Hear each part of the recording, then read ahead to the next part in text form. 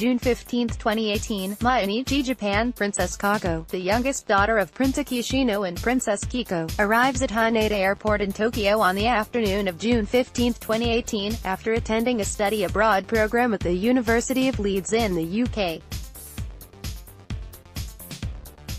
Pool photo, Tokyo, Kyodo, Princess Kako, a granddaughter of Emperor Akihito, returned from Britain on Friday after finishing nine months of education at the University of Leeds as an exchange student.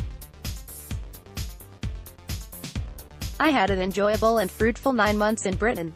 I will treasure my experiences there, the princess was quoted as saying by the Imperial Household Agency. The 23-year-old daughter of Prince Akishino and Princess Kiko studied performing arts at the School of Fine Art, History of Art and Cultural Studies as well as psychology, her major at International Christian University in Tokyo, the agency said. The princess spent her spring vacation in March in Portugal and Spain with a female friend from the University of Leeds.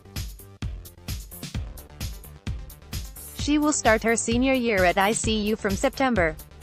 This exchange program was her first overseas stay since the summer of 2013, when she undertook a month-long homestay in the United States as a freshman at Tokyo's Gakushuin University. She quit Gakushuin the following year and entered ICU in April 2015.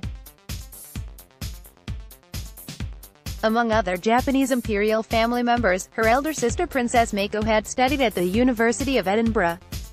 Princess Aiko, the only child of Crown Prince Naruhito and Crown Princess Masako, will study at Eton College on the outskirts of London this summer.